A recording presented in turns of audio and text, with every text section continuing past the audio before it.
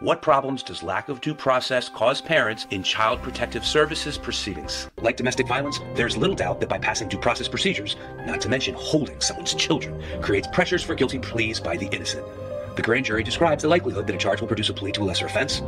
Penalties for conviction are very high, and the cost of a defense prohibitive. Numerous defense attorneys testified that they allow and even encourage their clients to plead to a minor charge even when they're certain of the client's innocence in order to facilitate reunification of the family. Here again, the better safe than sorry rationalization for these procedures isn't wholly plausible, since such practices may create more abuse than they present. The Children's Project of the American Civil Liberties Union reports that children in foster care are 10 times more likely to be maltreated while in the custody of the state than in their own homes. Similar findings of widespread abuse in foster care are well documented. In essence, standards of proof and due process protections should be strengthened to prevent harming innocent families.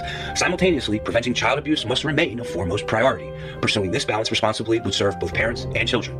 The child welfare system has overreached in many cases, but with reforms can still fulfill its vital mission.